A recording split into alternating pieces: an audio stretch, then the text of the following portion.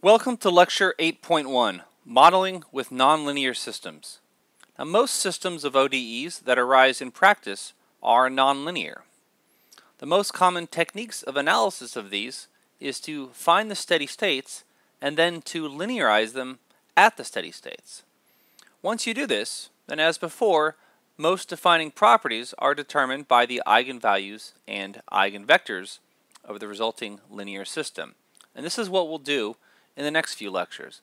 But in this lecture, I just want to start by showing you a number of nonlinear models that naturally arise.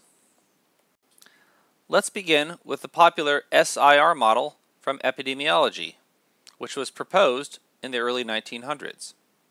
For this, let's consider an epidemic or a disease that spreads through a population, something like the common cold or the flu, or it could be something more serious.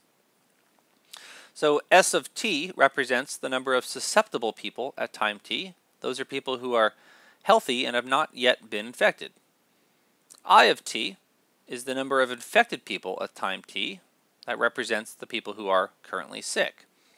And then R of t represents the number of recovered people at time t. Those are the people who have gotten the disease and now have an immunity to it. And finally, let's assume that there are n susceptible or unaffected people initially. So let's write down some differential equations for this. The first thing to understand is that people transition between these states. You start in the susceptible state, you transition to the infected state, or infectious, as some people say, and then you transition to the recovered state, like this. So let's write down equations for ds dt for di dt and for dr dt. So let's start with the first one, ds dt, the rate of change that people become susceptible. So this is going to be negative because nobody is entering this state and everybody is leaving. And the people who are leaving are the ones who are getting sick. So, so how do you model this? Well, the number of people that are, or I should say, the rate that people are getting sick is proportional to two things, I claim. First of all, the number of people who are in the susceptible state. So if you have 100 sick people, or if you have 100 healthy people on campus in the middle of flu season, and you double that number, you have 200, then you're roughly going to have twice as many people who get sick in the next week, because there's twice as many people um, to infect. Also, it should be proportional to the number of infectious people on campus. So if you if you double the amount of people who are sick, you're going to roughly double the amount of people that get infected the next week. And this is, of course, an approximation, but we're going to say that this is it's, it's accurate. So dsdt is some constant alpha, or negative alpha, times s times i. That's what it means to be proportional to both s and i. So let's put alpha here. That represents the rate of the transition rate. Next, di dt. So this is going to think of this as rate in minus rate out. So the rate in is just the same thing we have here, but with a positive sign. So we have alpha si, and then the rate out is the transit the rate that people become recovered. So this, I claim, is just proportional to the number of infected people. So let's suppose you have a disease like the flu that lasts on average 10 days.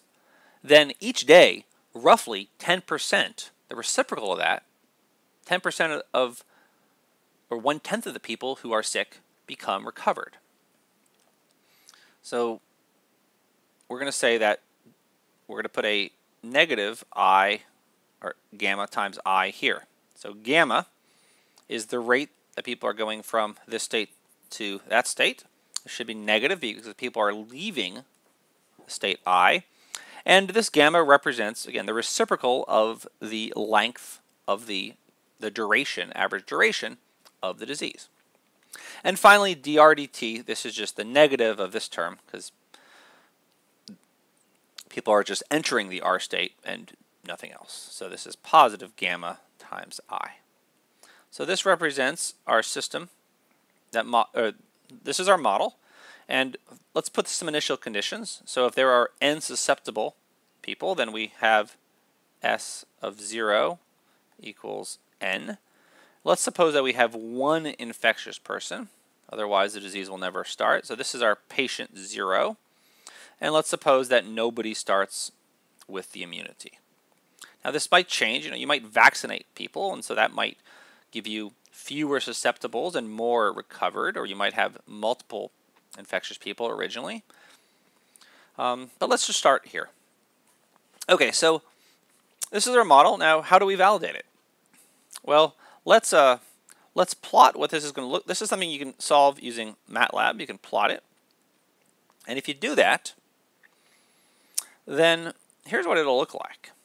So you start with the number of susceptible people starts out at n, and that will go down like this. So this is S of t. Now the number of infectious people is going to start at 1 and then it's going to go up and then it's going to go down and eventually go down to 0. Everyone eventually becomes recovered. And finally, well, let's see, let's write that here. And then finally, the number of recovered people starts at 0 and it's going to go up to here.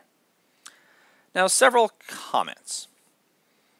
It's there's usually a gap right here. This the number of susceptibles does not usually go down to zero.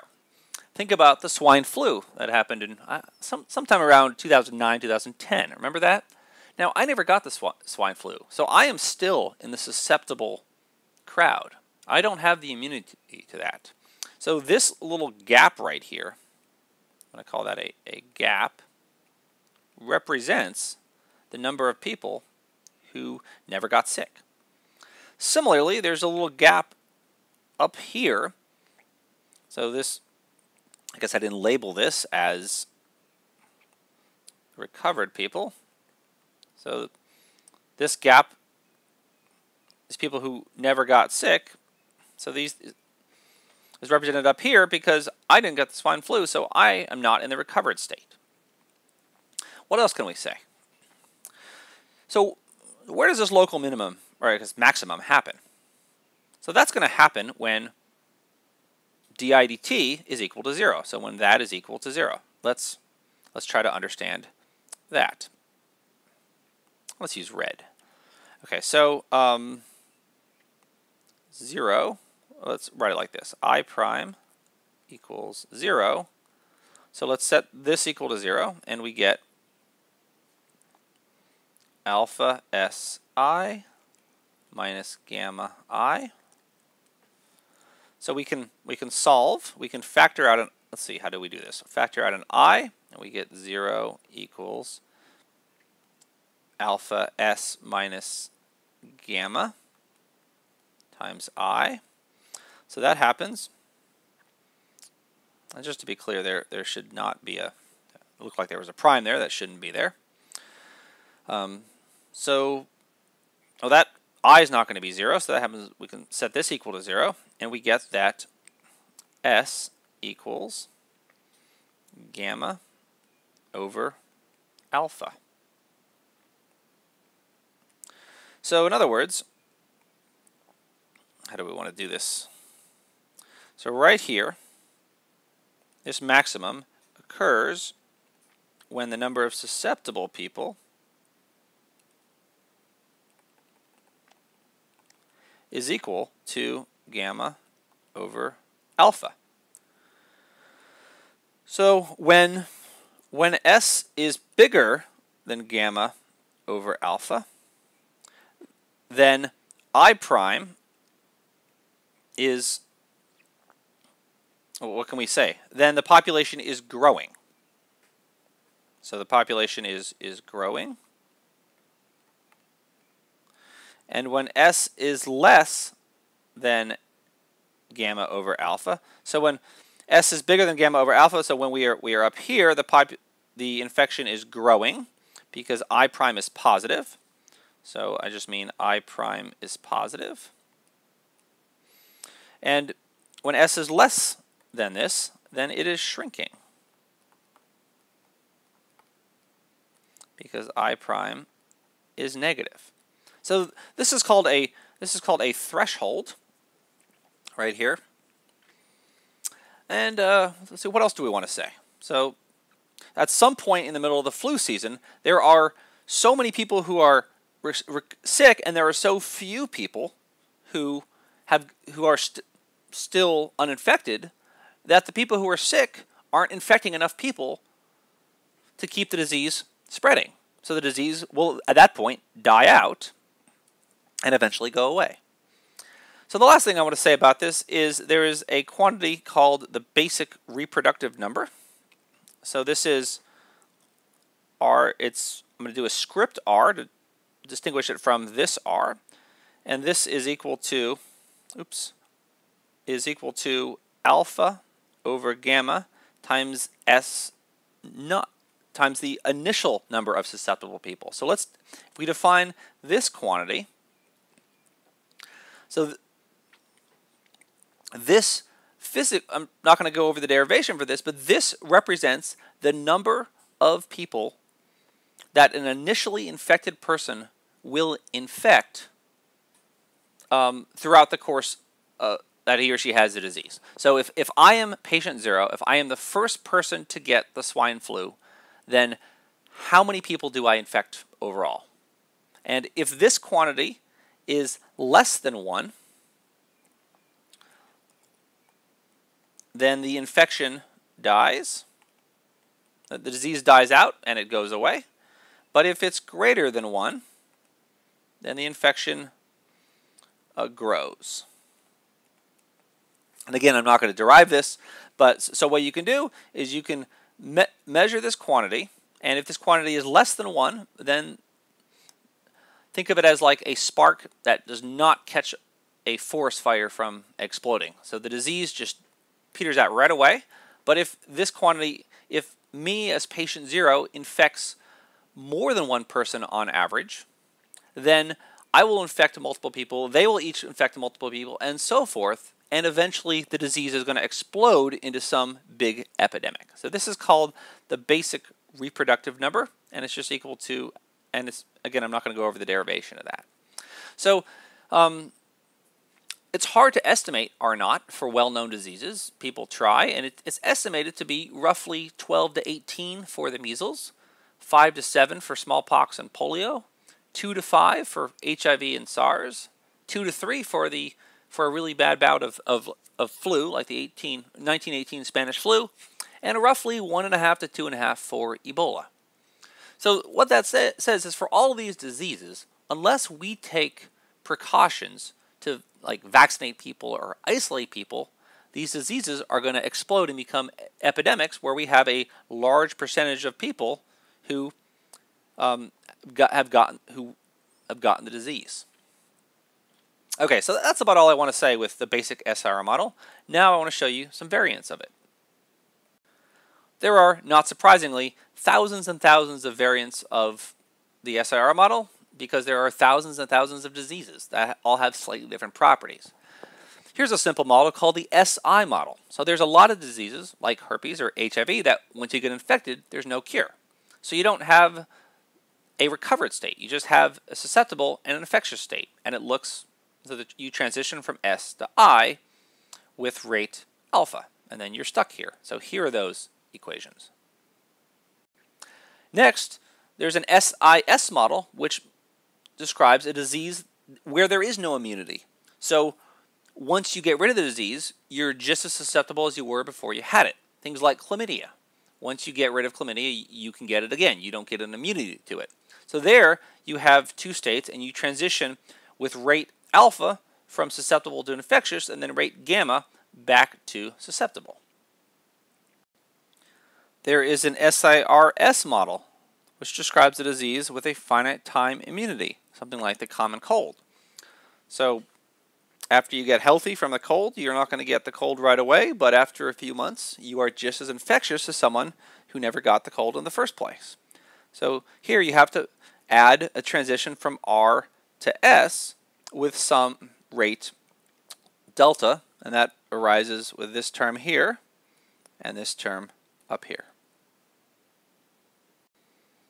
Another popular model is the more refined SEIR model, and E represents exposed.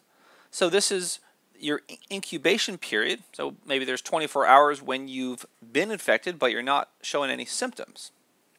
So here's the system of differential equations that you get from that model. You can add bells and whistles to these models like birth and death rates. So let's suppose that people are born into the susceptible state with rate beta, so that arises with this positive term here. And people die from any state with rate uh, mu, I forgot what Greek letter that was. So something like like this. So these negative terms are here. This is a more complicated model, but it, it models extra information. Now, of course, there are tons and tons of variants of this. You can assume, or you can model the case where some babies are born into the infectious state or the recover state, because sometimes the mother passes on a disease and sometimes mother does not. Or you can change up these constants to be different. It's reasonable to expect with some diseases that the death rate for a susceptible person is going to be different than the death rate for someone who is infectious. Of course, it depends if, if the disease is something like pneumonia or a flu where you can die from, or something else that's maybe like uh, an STD, which is uh, irritating like herpes, but it's not going to actually make you die sooner.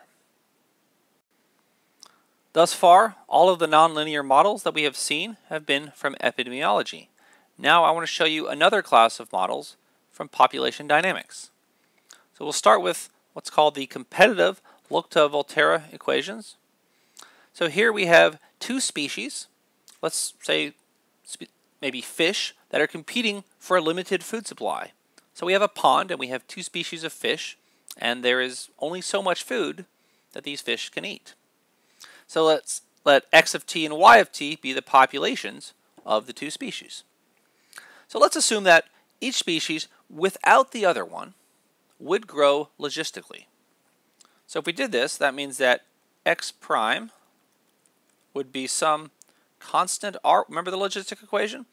Some constant r, say r1 times x, times 1 minus x over m1. And m1, recall, is the maximum, or is the carrying capacity, or the maximum.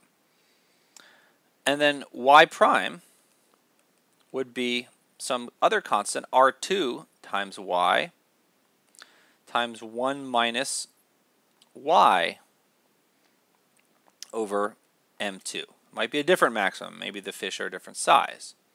So this is what would happen if so if species 2 died out, this would be the equation for species 1. And if species 1 died out, then this would be how species 2 would grow. But now, because they are both present, they take up room, so we have to add these two terms. We have to add some term s1 times xy up here and some s2 times xy down here. These are called mass action terms. And how do I want to say this? Um, yeah, so I'm going to show you another way to write this. So you, you could, if you want to, notice each of these terms has an x in it, so you can factor out an x. So you can write these, if you want to, you can write this as x, let's do it in red, x times, let's call it epsilon 1 minus, what is that? That's a sigma, sigma 1x minus alpha 1 y. And so I'm just renaming my constants. And then this next equation is we can factor out a y and we get epsilon 2 minus sigma 2 y minus alpha 2 x. So obviously epsilon 1 here is equal to r1, sigma 1 is equal to r1 time over m1 and so forth. So I'm just renaming my constants. This is a standard form put them in. And now let's look at what these terms represent. So this, this term right here represents, this is the decrease in, in the growth rate. So decrease in the growth rate of species 1 due to species 2. So alpha 1 represents the per capita decline. So alpha 1 is the per capita decline. So how much is species 2 causing species 1 to, to decline in growth?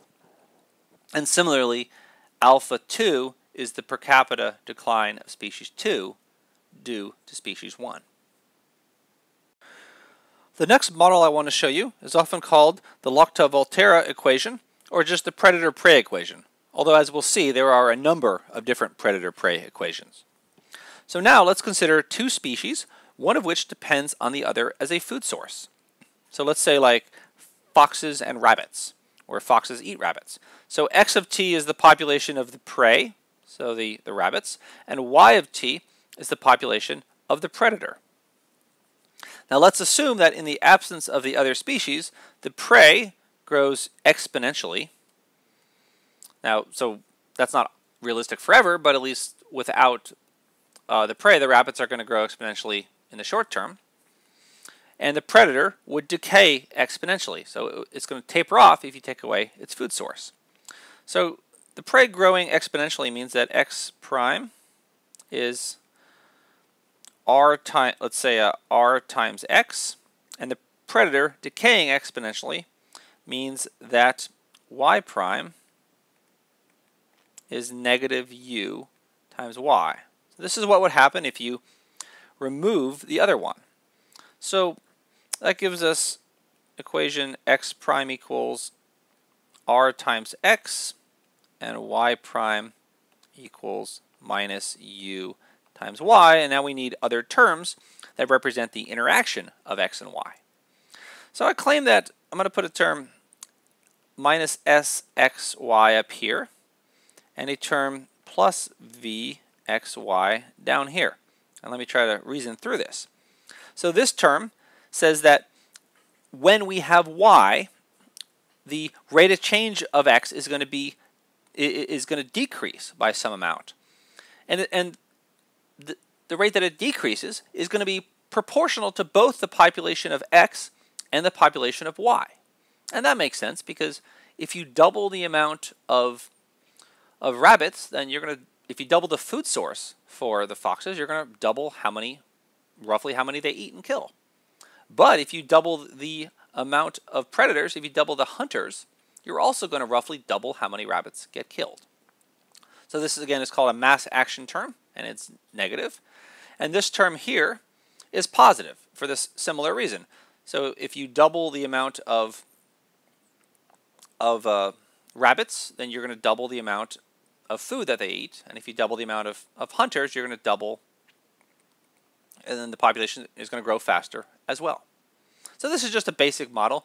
You can, instead of, you, you can change growing exponentially to growing logistically if you want to, and if you, if you do that here, oh, that's what we'll do in the next slide, but if you do that, then you just replace that with a logistic equation. So let's do that now x prime equals, so the logistic equation is r times x times 1 minus x over m. And exponential decay, as before, is just minus u y. And then we have to add these mass action terms, so a minus s x y and a plus v x y. So here's the predator-prey equation where the prey grows logistically, which is right here.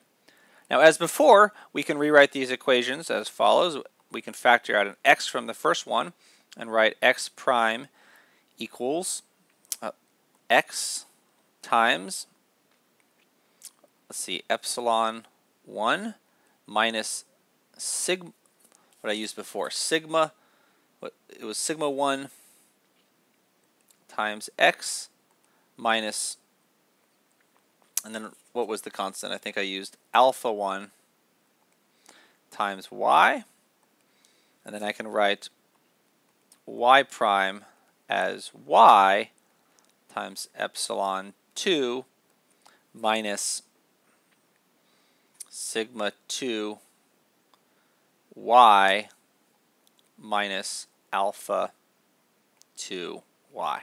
So I can still, whether it's logistic or exponential, I can still write my equations like this.